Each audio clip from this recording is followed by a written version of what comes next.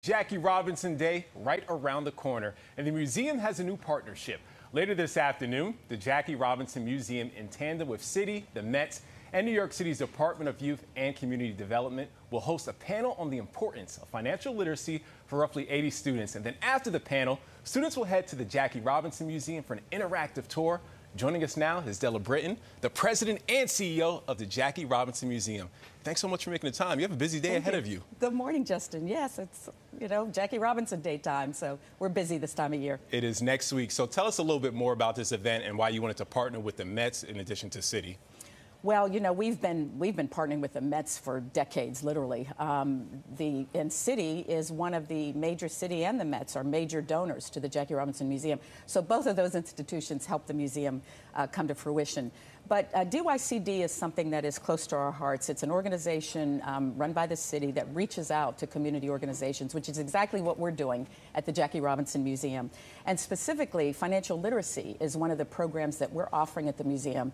It's um, actually funded by uh, one of our Jackie Robinson Foundation scholar alums, college scholars, funded a program called the Hayes Institute for Financial uh, Literacy and FinTech.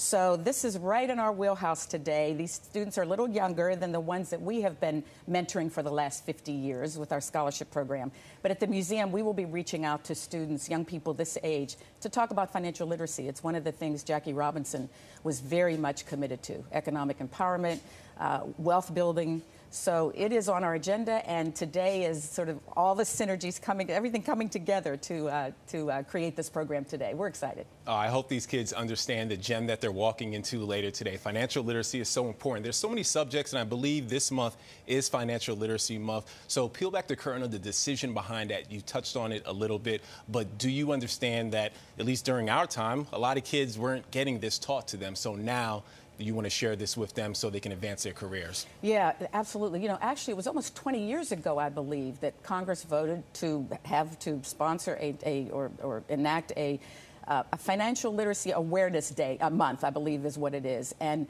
we were plugged into that because in those days, back 20 years ago, we were very much um, developing a curriculum for our college students around financial literacy, understanding their financial aid package, understanding uh, the stock market, you know, to invest, not to invest in the market, and, and generally, um, you know, personal financial literacy.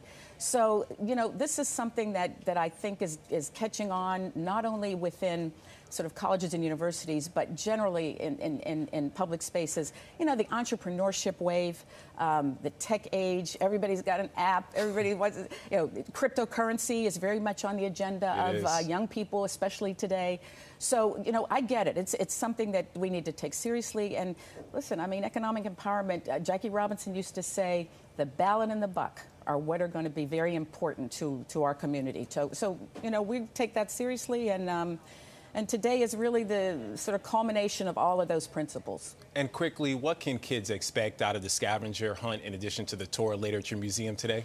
You know, it, it's called scavenger hunt, but the truth is it's a factual hunt. It's students going around the museum and finding out information. And today's factual scavenger hunt, if you will, will focus on those aspects of Jackie Robinson's life that dealt with economic empowerment. Few know that Jackie Robinson was co-founder of Freedom National Bank in Harlem. Not only that, even before he uh, retired from baseball, he started a housing development project. Um, the Jackie Robinson houses still exist. He then, subsequently in the 60s, began a construction, uh, uh, housing construction program to address the lack of adequate housing for people in, in depressed communities. Rachel Robinson, his wife, the founder of our organization, continued that construction company after his death. So then uh, we can talk about the clothing store he had on uh, 125th Street in Harlem. He was very much plugged into the importance of economic empowerment, wealth building, hence, you know, the, the Jackie Robinson Financial Literacy and FinTech Institute. So so we are, the people, what the students will learn today is those aspects of Jackie's life, beyond baseball, beyond even his civil rights work with Chumno. So it's going to be a fun day. It is going to be a fun day. Thank you so much for making the time and joining us. Financial literacy. That is Della Britton, the president of the Jackie Robinson Museum.